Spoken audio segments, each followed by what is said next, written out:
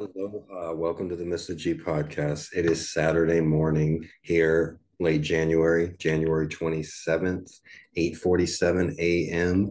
Uh, coming to you from Honolulu, Hawaii, on the outskirts of Chinatown. Uh, I hope everybody's having a wonderful day, uh, wonderful morning today. You like the Cat Lives Matter shirt? They're available at the Mr. G Hawaii Shopify store. All proceeds go to help me and the homeless, 100 homeless cats that I feed on a daily basis every day. Today's episode of the podcast it's not about homeless cats, it's about advertising, in particular, deceptive advertising.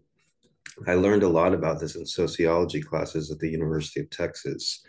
Um, one thing that gave me the idea for this podcast topic episode today is the radio advertisements. I say radio, but I mean the audio ads that you hear on Spotify or in Pandora or in anything that you're listening to. It could be for a, a car company, a used car lot, a fast food restaurant, uh, any number of things. But these commercials in the last few years, they all have the same kind of uh, message at the end they'll blast you a car commercial. Come down to the 99, $99 down, all credit, no credit, credit, down, down at the big town car salad, you know. And then at the end of the ad, or, or it's a fast food commercial. Right now at Burger King, get a deluxe Whopper for only $1.99 with the purchase of, you know, eh, with $1.99. But then at the end of these advertisements, they whisper. So they want you to hear something, but then at the end, they whisper something like, all rights and regulations reserved, only valid on certain days, you know, not valid in Alaska or Hawaii. And not valid in Alaska or Hawaii, that's why I started like listening to these advertisements, like, you know, like a, a fast food restaurant or, or something will come out with an advertisement on the radio. And at the end, they'll say not valid in Alaska or Hawaii. So you, you listen to these, but they whisper at the uh, end. They're called disclaimers, but they're extremely um, uh, diabolical in their um in their ways to uh, influence. It's like they're telling you like we want you to hear the first part of the commercial. We'll scream it loud for you. But the second part of the commercial the disclaimer we don't really want you to hear that. They'll usually have music going on in the background and and people have just become accepted of it. Uh, my girlfriend lives in the uk and i asked her about it and she says yes they do the same thing here and it's very strange but people are just okay with it. I'm surprised other comedians, other comics haven't uh, mentioned it. I'm, I'm sure they probably have. It's just so disturbing when you think about it. Imagine somebody with schizophrenia that hears that, you know, like they're hearing a radio commercial, like trying to like determine which voices are real and which voices are not. And they hear, by the way, oh, all right, I'm under your bed, don't let I'm, not, I'm the only one can hear you. And sometimes if you listen, because I've been listening to these radio ads and like listening to the end, they really will say some fucked up shit. Like, I'm hiding under your bed. Don't tell anybody that I'm here. You know, like 2.2% financing only applies to the second Tuesday of each month with a full moon clearly showing the night before and then what you are wearing red socks. All deal with markdowns apply all of the days except the week on Sundays in case you must bring your mother and the doctor that delivered you into this world to verify your identity. All other cars are allowed except for the black one under the quarterback trailer was sold at maximum profit determined by the sales price at the time of sale. Know, it's like what? And they have like music going like da, da, da, da. By the way, this is a subliminal advertisement. Blah, blah, blah. It's not subliminal because it's there you know it's a disclaimer that's there but they don't really want you to hear it. They want you to hear the, the first part. Come down to bob's car lot. One dollar down get you any car in the lot. Except you know like it's so strange and it's not subliminal advertising. Subliminal advertising is a bit different. Um, subliminal advertising an example of that would be product placement.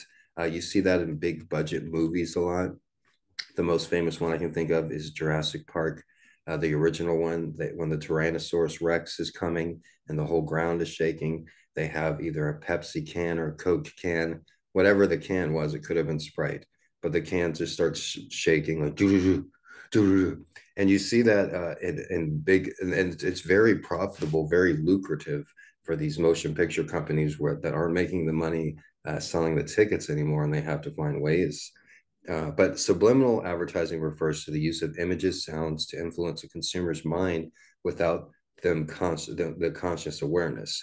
An example of subliminal advertising would be an image of an ice cube embedded in a cola ad. A voice recording might be added to the audio of a song or interview, but at very low volume to make it almost nearly impossible to detect. Even though the volume makes the message very subtle, the listener's brain may still hear it and store it within the subconscious. Because advertisers are smart, they're aware that our brains are constantly, you know, picking up all kinds of data, all kinds of information that we're not consciously registering in our thoughts. So that's an, an example. That's why um, I don't believe in deja vu, because for that very reason, our brain is re- uh, registering thousands of thoughts and thousands of images and uh, all kinds of stimulation that we're not actually thinking about or consciously aware of. So when you walk into a room and you look at a painting and you're like, I've seen that painting before. I know I've seen that painting before, but I can't figure out where.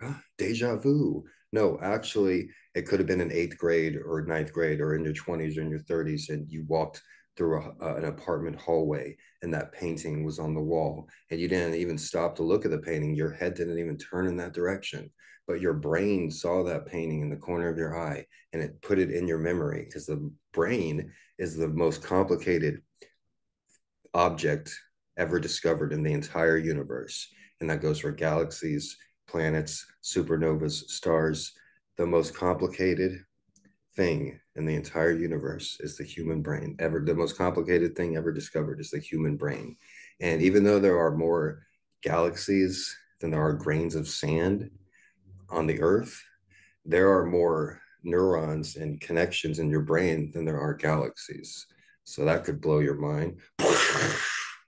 Anyways, uh, the Mr. G podcast is available wherever you listen to podcasts. Uh, so you can listen to it on Apple Podcasts or Amazon Podcasts. Just type in Gregory Brandt podcast or Mr. G Hawaii podcast. There's actually a few Mr. G podcast. believe it or not. There's not many Mr. G's. Like if you go on Twitter and type Mr. G, you know, you have some show that was on 20 years ago. And then you have me basically. And then there's a DJ Mr. G. But Mr. G Hawaii separates me from all the other Mr. G's. And Gregory Brandt, I'm at the top. There's like 300 Gregory Brandts, but I'm number one Gregory Brandt, B R A N D T. All right, back to advertising. Some common subliminal images in advertising that you may not be aware of. The Amazon logo.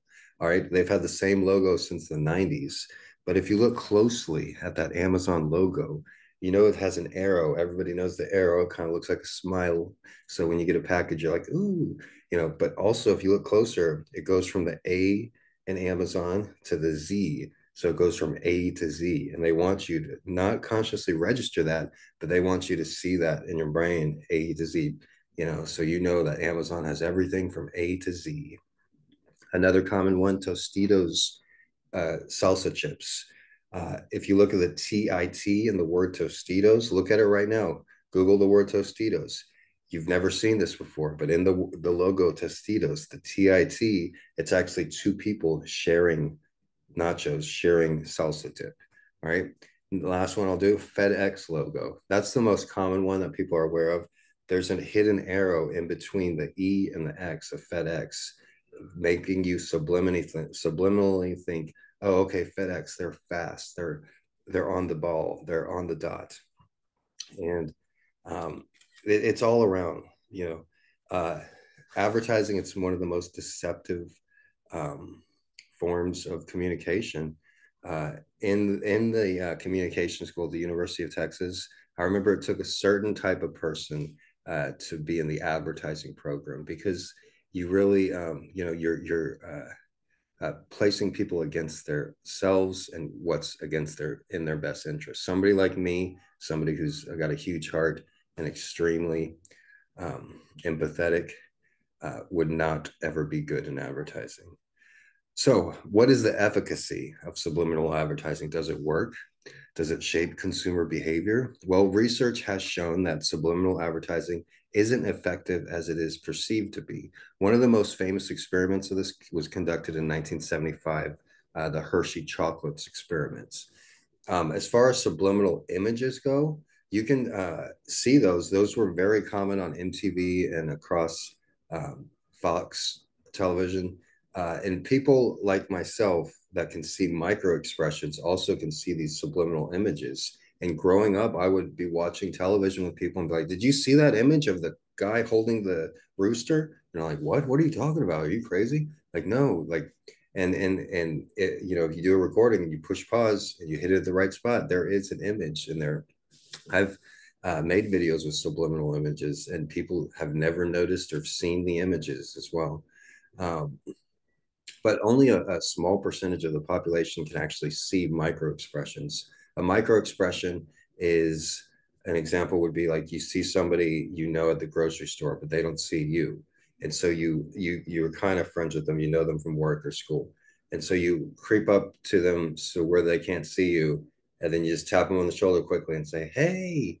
and then you immediately look at their first expression on on their face and it only lasts for a couple milliseconds that's why i said most people cannot see micro expressions so you tap them on the shoulder and you're like hey how's it going and for a, a second before they put on their mask you'll see if they have a, a, a look of disgust like oh you like hey, hey how's it going or or they have a look of like a genuine uh, interest like oh it's my friend hey you know but people reveal themselves and in those split seconds uh, that you first see them. That's called a micro expression. And the same people that can see micro expressions can also uh, detect detect a fake smile. If you look at the uh, intro to Charles in Charge, it's a famous sitcom from the 1980s, and it's a classic 80s sitcom intro. They're all running around and everything, but then they all stand uh, and and like a, a family photo and the one girl, the older girl, she has like the fakest smile that I've ever seen. She's like, you know, like, you know, to me, that's what it looks like. And I would be watching that with my siblings, be like, hey, you guys see how she's like fake smiling? And they weren't able to determine what a fake smile is just like a real smile. And the majority of people, they cannot determine a fake smile from a real smile. I can easily. And if you look back at that show, there was a bunch of like uh, drama and different uh, emotional events that kids shouldn't be involved in uh, that was happening during filming of that show. So you could see why the uh, young actress would have to force a smile if she wasn't in the mood to smile. So, uh, yeah, enough about me. Okay, no, but this is uh, the Mr. G podcast. This is something that I enjoy doing.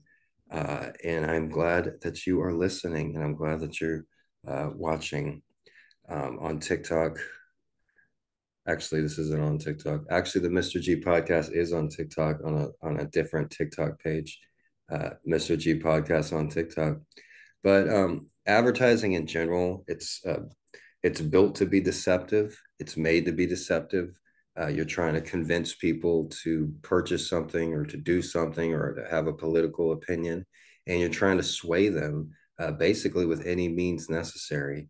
Uh, sometimes they use emotional triggers in our ads uh, to get you interested. Sometimes it's a uh, comedic effect. Sometimes it's it's uh, everybody's doing it, and um, ads target the uh, most weakest of the group, people that aren't strong-willed or strong-minded.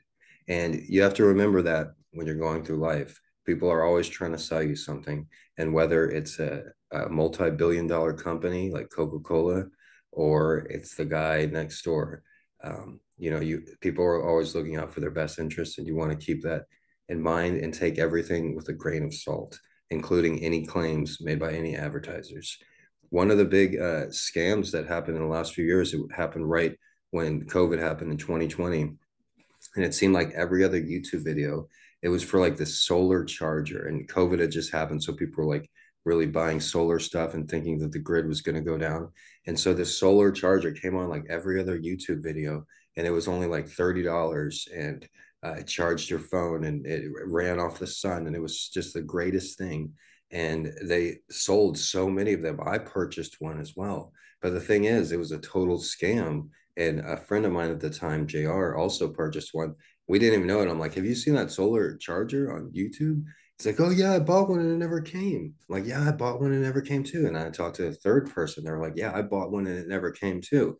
So they just, you know, eliminated the company, took down the ads, took the money and ran. And that was through a, a, one of the largest companies in the world, YouTube, Google. Uh, so people uh, will always be deceptive, especially when it comes to advertising. And that's why I say um, never uh, be so solid on anything. The smartest people in the world, they uh, they wait to pass judgment on anything, and that that's including myself. I don't know if aliens exist. I don't know who should be the next president. You know, I, I weigh every single option. Sometimes you really do want to put your foot down, uh, but most of the time you want to uh, hold out and wait for more information. All right, with that being said, thank you guys for listening, and I hope you all have a wonderful day from me and my street cats. Aloha.